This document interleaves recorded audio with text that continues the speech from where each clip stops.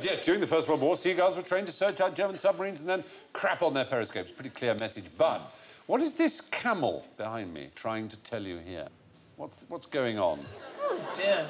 Uh, it's a very disgusted audience, though. They don't like what they see. Did you say Jeremy Kyle's on in a minute?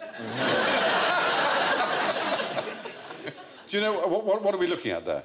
Uh, I presume it's a tongue, is it? But is it a sausage? It's not his tongue, amazingly. Is it his stomach?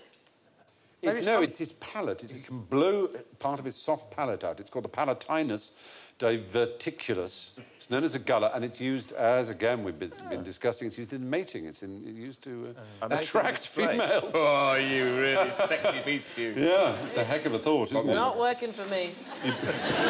It appears to be sticking out its tongue. The, the camels with the most testosterone have the biggest gullet.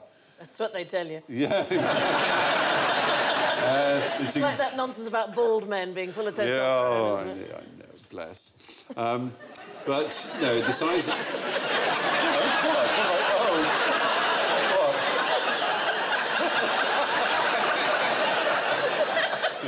Oh, what? Way.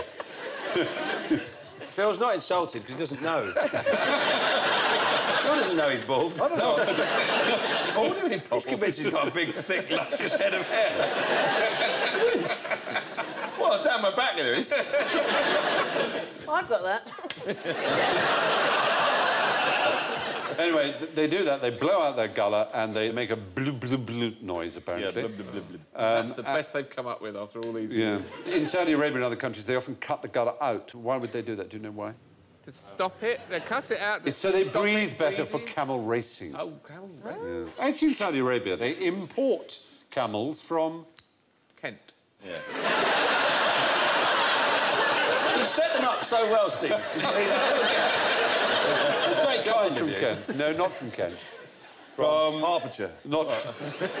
Let's disabuse ourselves. Australia is the right answer. Yes. Thank you. But why would they import them? What do they need them for?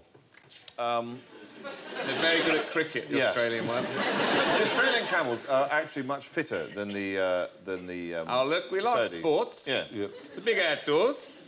No, they don't. They don't. Let me, they don't use them to race. They don't use them for transport. They use the camels they import for Food? Breed food for meat, They- camel They meat. eat yes. them. They, They tell them them, they're going them. to have a lovely Yeah. life as a camel race. You're loving over there, mate. Away you go. Good luck. Give us a call when you've won your first race. Thank you for watching. Do remember to subscribe to the QI channel and click here to watch more videos.